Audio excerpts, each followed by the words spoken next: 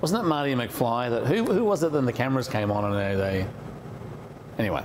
G'day, ice cream lovers. Welcome to this session of Scoop School. Uh, we call it the podcast. We probably should call it session. Do you think, Madeline? Sessions. The Scoop School session. Yeah.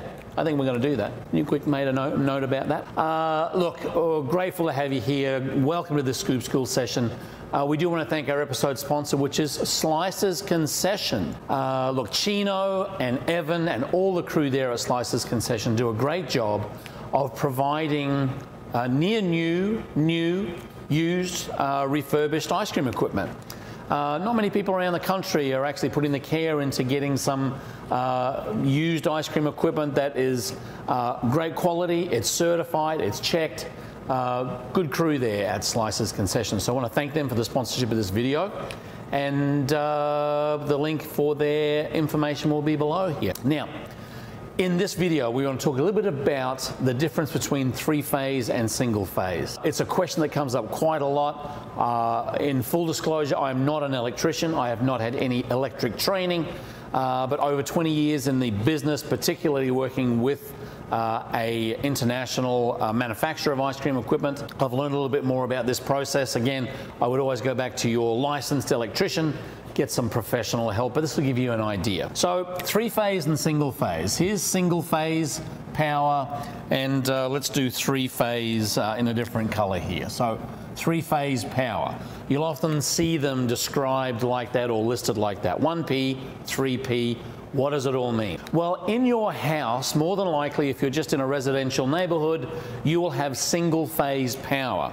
And what that means is that there is one single phase of power coming into your home and generally speaking, you will have uh, receptacles around the place, power points, we call them in Australia, outlets, if you will, where you're plugging in toasters and phone chargers and different things. And that generally is single phase power. Most residential places have single phase power. Now, you may note that there are different sizes of plugs or different amps of plugs uh, for different things. So you may pull out your uh, clothes dryer or your washing machine and they may have a plug on it that looks a little bit like this. That still is a single phase outlet, but that's what we call a 20 amp circuit. And 20 amps is a bit more robust, generally a larger piece of equipment, something that has a larger motor in it, um, will run on single phase still, uh, but a 20 amp plug, whereas most of your appliances, again, toasters, phone chargers, lamps, and so forth, televisions, will use a 10 or a 15 amp plug. Okay? So that's single phase, uh, relatively easy. Most people are very familiar with it. It's coursing through the room that you're probably sitting in right now.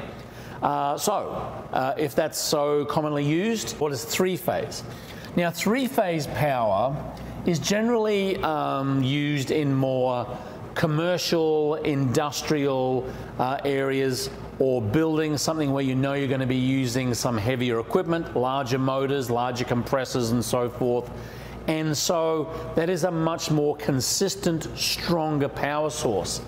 This is single phase, one phase coming into the building.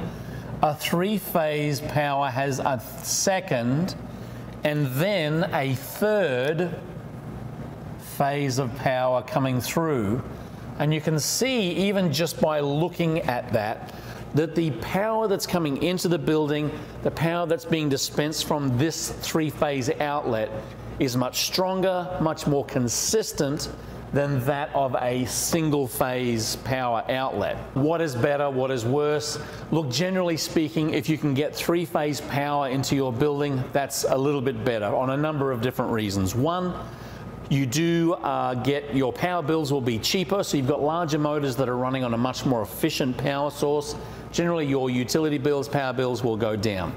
Uh, generally speaking, your equipment will last longer because the motor in it doesn't have to work as hard. I kind of equate it to if you're a car buff, um, this is a four cylinder motor.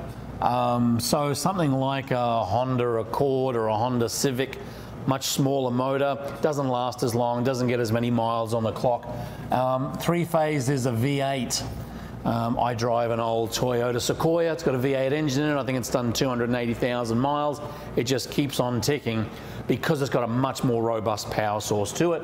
And so that's what this process is. Now, equipment companies, the larger equipment companies, um, the folks like Electrofreeze and Catabriga, uh, Stoelting, Taylor, um, Carpigiani, all make equipment in those two power settings. So if you're in a building, and if you're in a building that only has single phase power in it, it's probably because it's in an older part of town. It may have been a building that perhaps was not originally designed for industrial or commercial premises. It might have been a house or some kind of barn or whatever it is, uh, and it only needed single phase in there.